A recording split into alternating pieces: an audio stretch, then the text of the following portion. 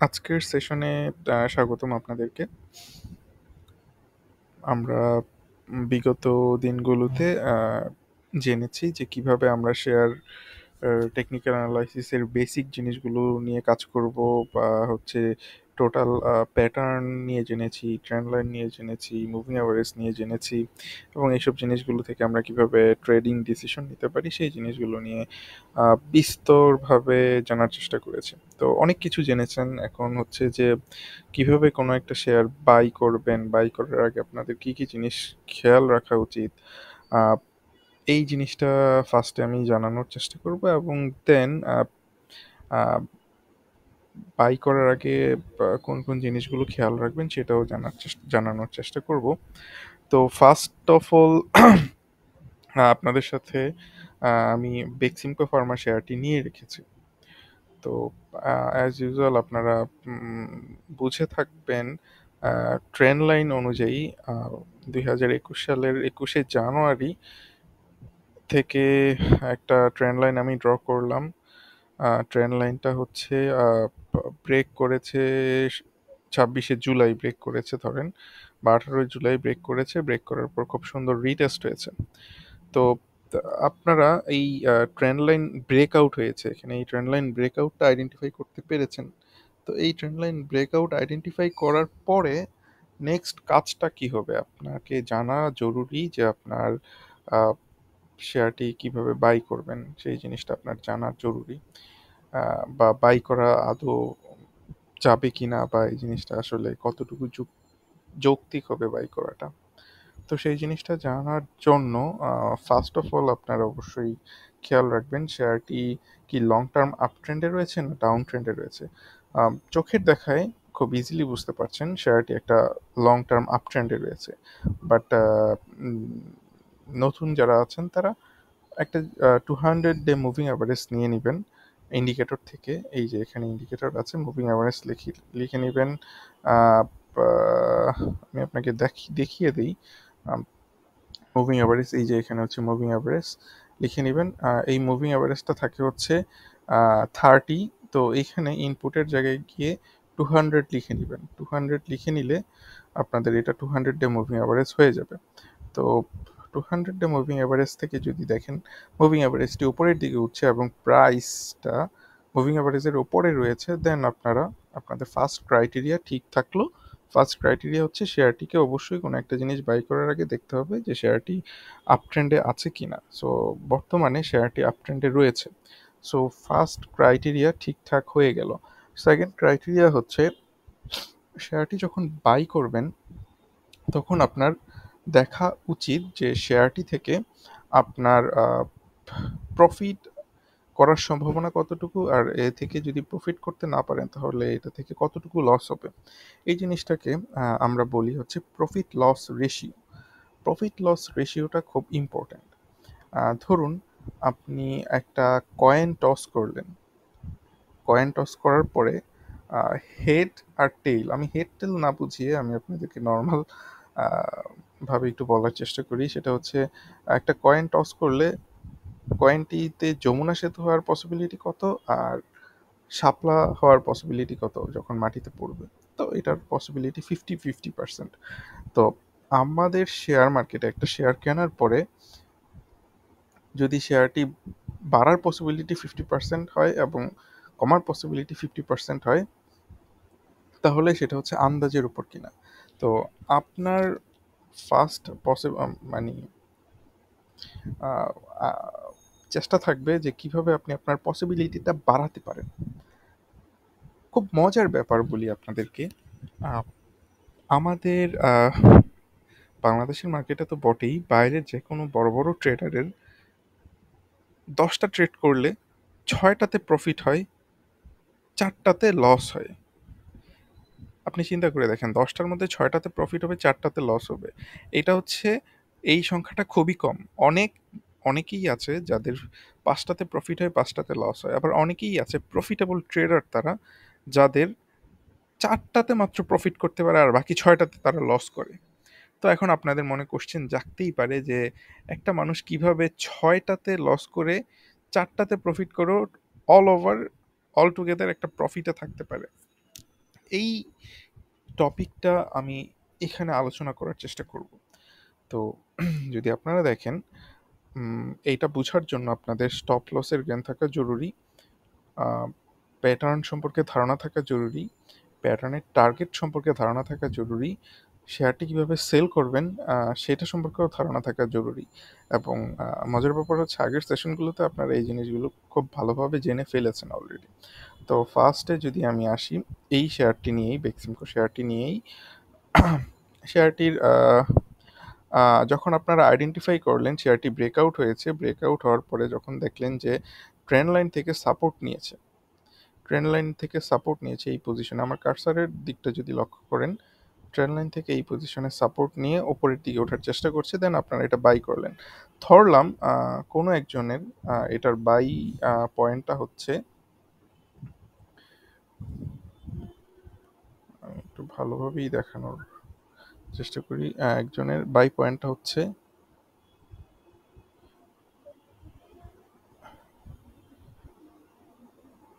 একশো নব্বই টাকা। দেখেন বাই পয়েন্টটা হচ্ছে একশো নব্বই টাকা। এখন আমি আপনাকে বলব যে সে এই পজিশনে বাই করবে কিনা, সেই জিনিসটা তার বোঝাটা জরুরি। তো, যদি মার্কেটের পজিশন অনেক ভালো থাকে এই সময়টাতে, তাহলে সে তার স্টপ লস সেট করতে পারে, খুবই টাইট একটা স্টপ লস সেট করতে পারে প্যাটার্নটির ঠিক নিচে, যেখানে ট্রেন লাইনটি ব্রেকআউট করেছে ট্রেন লাইনের ঠিক নিচে সেট করতে পারে। একটা স্টপ লস আর এই স্টপ লসটা হবে, ধরলাম আমি একশো উনআশি টাকায় এই স্টপ লসটা আমি আরও বড় করে নিচ্ছি আপনাদের বোঝার সুবিধার জন্য। আবার কেউ যদি চায়, তাহলে সে তার স্টপ লস সেট করতে পারে। যদি লং টার্মে ইনভেস্ট করে, তাহলে তার স্টপ লস সেট করতে পারে একশো পঁয়ষট্টি টাকাতে। একশো পঁয়ষট্টি টাকাতে তার লজিক্যাল স্টপ লসটা সে সেট করতে পারে। লং টার্ম ইনভেস্টার আর যারা ট্রেডার তারা একশো উনআশি টাকায় তার স্টপ লস সেট করতে পারে কীভাবে? ঠিক ট্রেন্ড লাইনটার নিচে। আর এখানে স্টপ লসটা হচ্ছে তার লোয়ার হাই যতটুকু সরি লোয়ার লো যেটা আছে, সেই পয়েন্টের নিচে হচ্ছে সে স্টপ লস সেট করতে পারে। মানে এখান পর্যন্ত এসেছে শেয়ারের প্রাইসটা এর নিচে আর যায়নি, এর থেকে ওপরে গিয়েছে শেয়ারের প্রাইস দ্যাট মিন্স এই পজিশনটাতে একটা সাপোর্ট রয়েছে। সো এই সাপোর্টটাকে ধরে আমরা এখানে স্টপ লস সেট করলাম। এর মানে হচ্ছে যদি শেয়ারটি কোনোভাবে এই সাপোর্ট ভেঙে ফেলে তাহলে শেয়ারটি আরও নিচে চলে যাওয়ার সম্ভাবনা আছে। সেক্ষেত্রে আমরা স্টপ লস নিয়ে বের হয়ে যাব।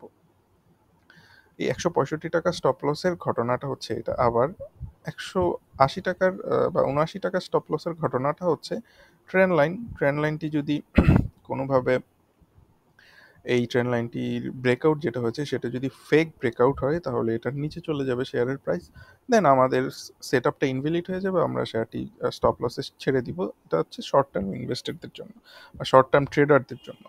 তো এখন আমার কোশ্চেন হচ্ছে, আপনি একশো নব্বই টাকা একটা শেয়ার বাই করলেন। একশো নব্বই টাকা পজিশনে একটা শেয়ার বাই করলেন।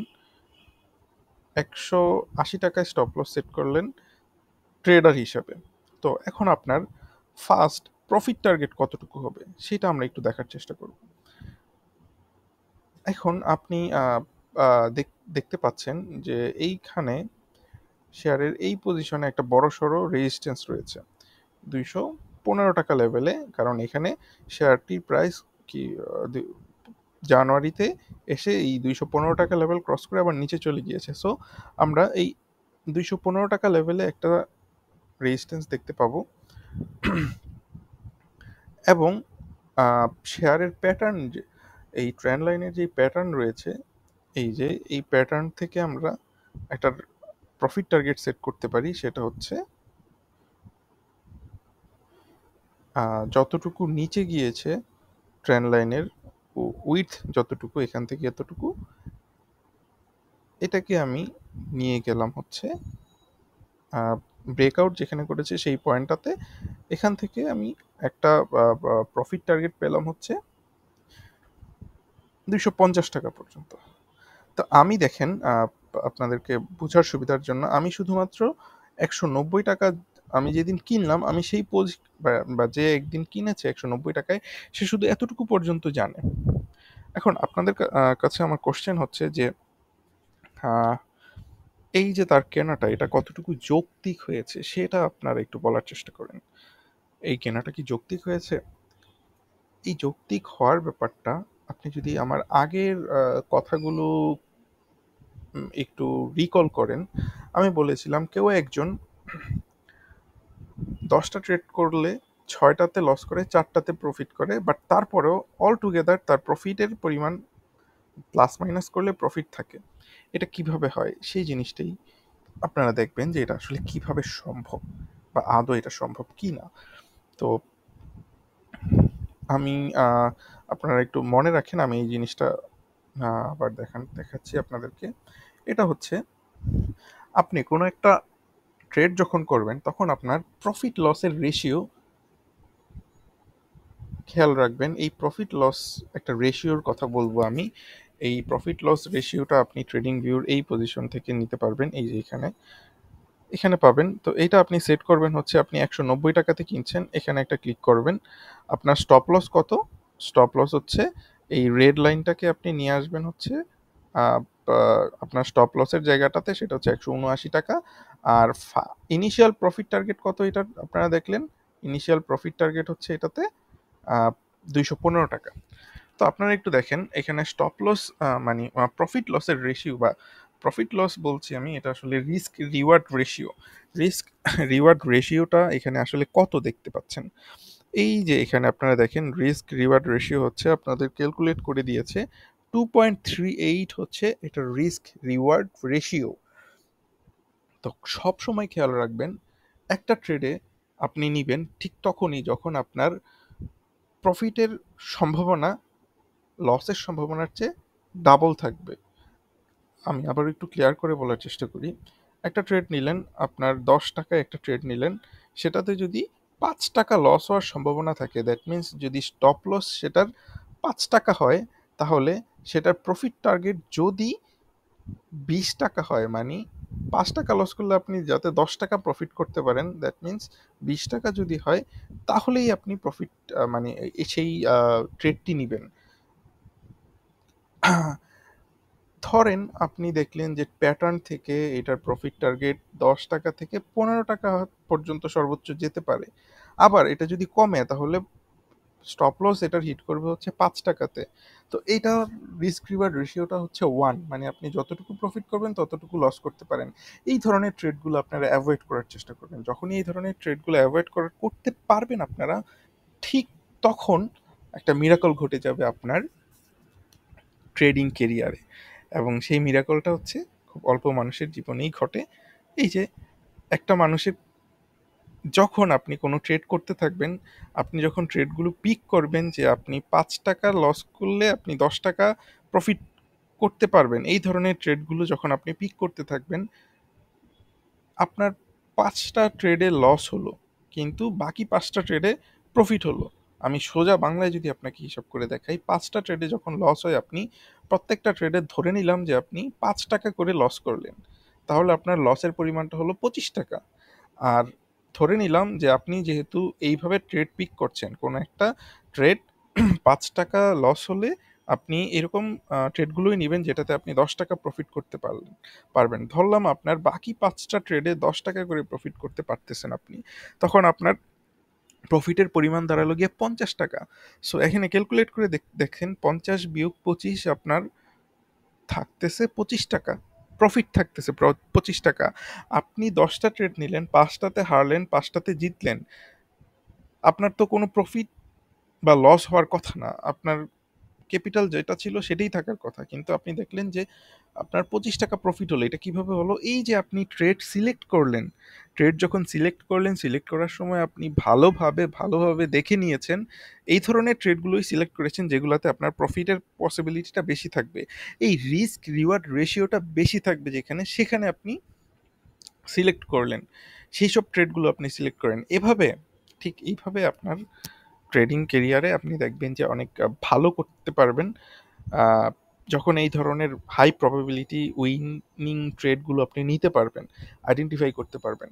কোনো একটা ট্রেড ধরলে, ধরলাম সেটা আগেও বলেছি, ধরলাম এটার risk reward ratio point nine one আপনার উচিত হবে এই ধরনের ট্রেডগুলো না নেওয়া যেহেতু আপনি টেকনিক্যাল অ্যানালাইসিস সম্পর্কে জানেন সো আপনি বুঝতে পারছেন, এইটা আসলে প্রফিটেবল হবে না। তো এইটা হচ্ছে ইনিশিয়াল প্রফিট টার্গেট সেটা হচ্ছে ট্রেডারদের জন্য। আর যারা লং টার্ম ইনভেস্ট করবেন, তারা এখান থেকে একটা প্যাটার্নের টার্গেট দেখেন, আমি বের করে দিয়েছিলাম যেটা এই যে এখানে প্যাটার্নের টার্গেটটা হচ্ছে দুশো পনেরো টাকা পর্যন্ত। তারা দুশো পনেরো টাকা পর্যন্ত যদি ধরে রাখেন, তাহলে তাদের রিস্ক রিওয়ার্ড রেশিও দেখেন কত হয়। লং টার্ম ট্রেডারদের জন্য স্টপ লস হচ্ছে একশো পঁয়ষট্টি টাকাতে।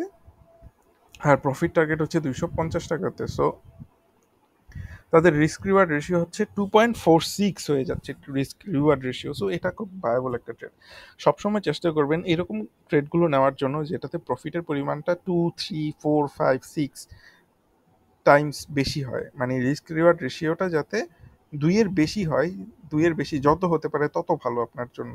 এই ধরনের ট্রেডগুলো যখন নিতে থাকবেন, একটার পর একটা, একটার পর একটা, আপনার পোর্টফোলিও রাতারাতি কোনো কিছু হয়ে যাবে না বাট গ্রেজুয়ালি বাড়তে থাকবে বাড়তে থাকবে বাড়তে থাকবে। সো আশা করি বুঝতে পেরেছেন এই রিস্ক রিওয়ার্ড রেশিওর ব্যাপারটা। আমি আবার একটু দেখাবো আপনাদেরকে অন্য একটা এক্সাম্পল জাস্ট বোঝার সুবিধার জন্য।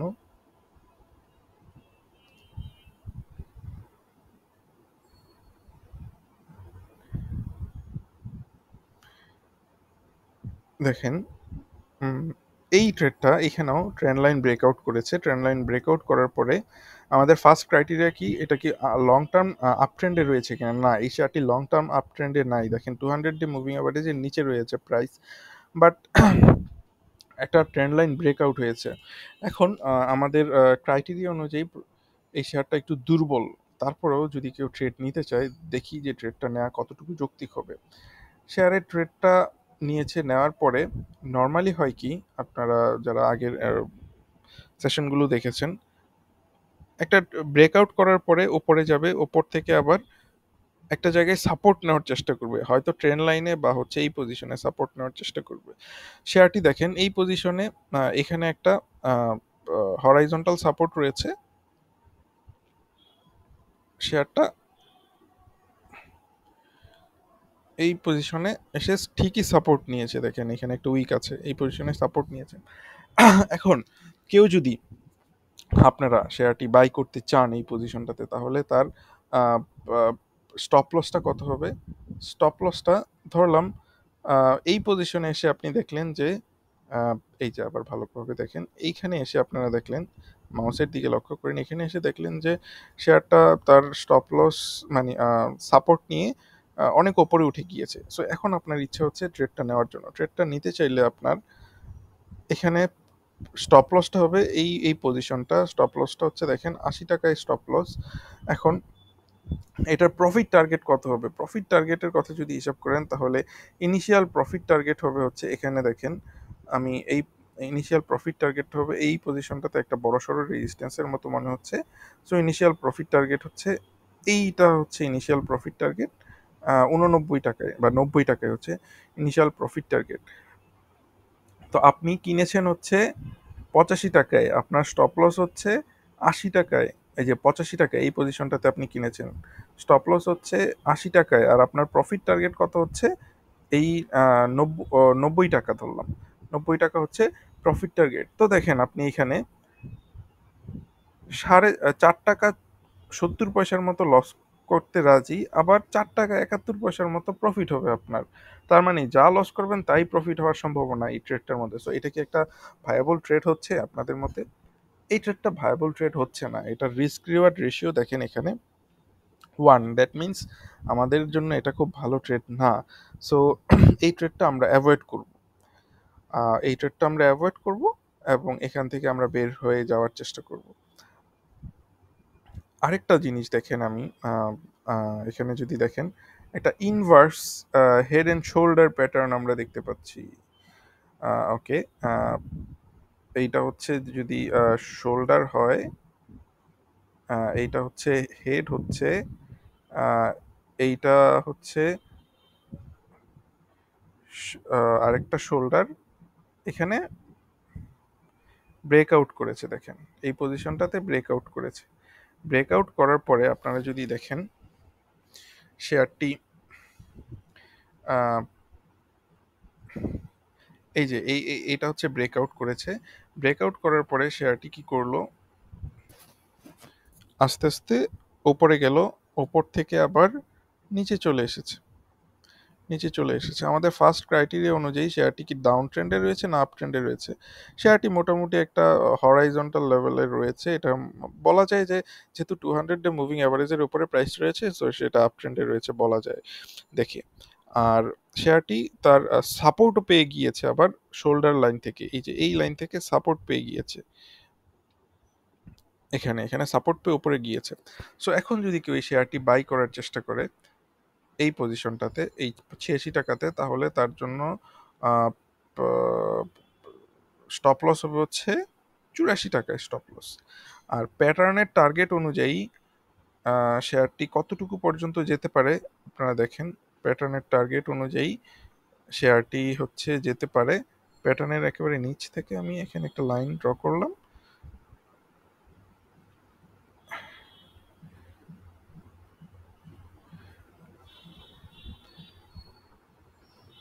এই পর্যন্ত শেয়ারটি যেতে পারে। সো এটা একটা লং টার্ম ইনভেস্টরদের জন্য প্রফিট টার্গেট এই, এইটা হচ্ছে একটা প্রফিট টার্গেট তিরানব্বই টাকা পর্যন্ত। দেখেন, আমি কিন্তু এই জিনিসগুলো জানি না।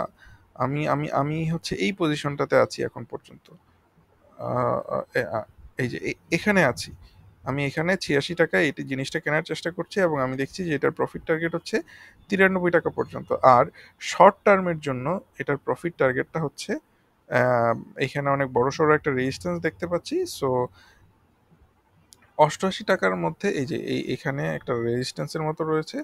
সো আমাদের অষ্টআশি টাকাতে বা হচ্ছে আর একটু নিচে যাই যদি, তাহলে সাতাশি টাকাতে একটা প্রফিট টার্গেট থাকতে পারে। বাট যেহেতু একটা প্যাটার্ন ব্রেকআউট করেছে সো আবার এটার প্রাইস প্রায় ছিয়াশি টাকাতে, তার মানে এটা ছিয়াশি টাকায় উঠেছে হচ্ছে এখান থেকে সাপোর্ট নিয়ে। সো এটাকে আমরা রেজিস্ট্যান্স হিসেবে ধরলাম না, যেহেতু সাপোর্ট পেয়েছে।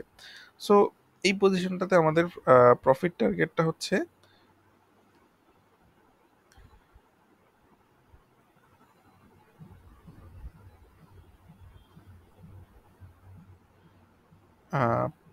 তিরানব্বই টাকাতে হচ্ছে এটার একটা প্রফিট টার্গেট আমরা দেখতে পাচ্ছি। প্যাটার্ন অনুযায়ী প্যাটার্ন অনুযায়ী তিরানব্বই টাকাতে একটা প্রফিট টার্গেট আবার এখানে এসে দেখেন হরাইজন্টালও একটা রেজিস্ট্যান্স রয়েছে। সো এটা কি ভায়াবল ট্রেড কিনা? এটা ভায়াবল ট্রেড কিনা বা এটার প্রফিট লস রেশিওটা মানে রিস্ক রিওয়ার্ড রেশিওটা কীরকম সেটা যদি দেখার চেষ্টা করি, কেউ যদি এটাতে ট্রেড নেয় তাহলে তার স্টপ লস হবে চুরাশি টাকাতে প্রফিট টার্গেট হবে হচ্ছে তিরানব্বই টাকাতে। তো এটার রিস্ক রিওয়ার্ড রেশিও আপনারা দেখেন কত? রিস্ক রিওয়ার্ড রেশিও হচ্ছে তিন মানে এক টাকা লস করলে আপনি তিন টাকা প্রফিট করতে পারবেন। মানে লসের চেয়ে প্রফিটের পরিমাণটা তিন গুণ বেশি হবে যদি ট্রেডটা ক্লিক করে। সো এই ধরনের হাই প্রবাবিলিটি ট্রেডগুলো আপনাদের সবসময় নেওয়ার চেষ্টা করতে হবে। যখনই আপনি এইভাবে হাই প্রবাবিলিটি ট্রেড নিতে পারবেন, আপনি দশটার মধ্যে যদি ষাটটাতেও লস করেন, তিনটাতে যদি প্রফিট করেন, তাহলে দেখা যাবে যে আপনার প্রফিট লস মোটামুটি সেম থাকবে। আর যদি নর্মালি পাঁচটাতে লস করেন, পাঁচটাতে প্রফিট করেন, তারপরেও দেখবেন যে আপনার প্রফিটের পরিমাণ আপনি বছর শেষে বা মাস শেষে আপনি প্রফিটে থাকবেন। এই হচ্ছে আমাদের খুব ইজি একটা সলিউশন যে এই রিস্ক রিওয়ার্ড রেশিওটা সম্পর্কে সবসময় মাথায় রাখবেন। খুব ইজি ভাবে আমি দেখানোর চেষ্টা করলাম ভিডিওটি বারবার দেখার চেষ্টা করবেন তাহলে আরও ভালোভাবে বুঝতে পারবেন ঘটনাটা। তো এই ছিল আজকের ভিডিও আশা করি এই রিস্ক রিওয়ার্ড রেশিও সম্পর্কে আপনারা ভালোভাবে বুঝতে পেরেছেন। নেক্সট ভিডিওতে হয়তো চেষ্টা করব কীভাবে শেয়ার এখন তো দেখলেন যে আপনি কীভাবে সিলেক্ট করবেন বা সিলেক্ট করার প্রসিডিউরটা কি, কোন ধরনের ট্রেডগুলো আপনি সিলেক্ট করবেন। এরপরে দেখাবো যে আপনি কীভাবে বিক্রি করবেন এবং হাইয়েস্ট প্রাইসে কীভাবে বিক্রি করতে পারবেন। তো ভালো থাকবেন আশা করি বুঝতে পেরেছেন, কোনো কোশ্চেন থাকলে জানাবেন। ধন্যবাদ।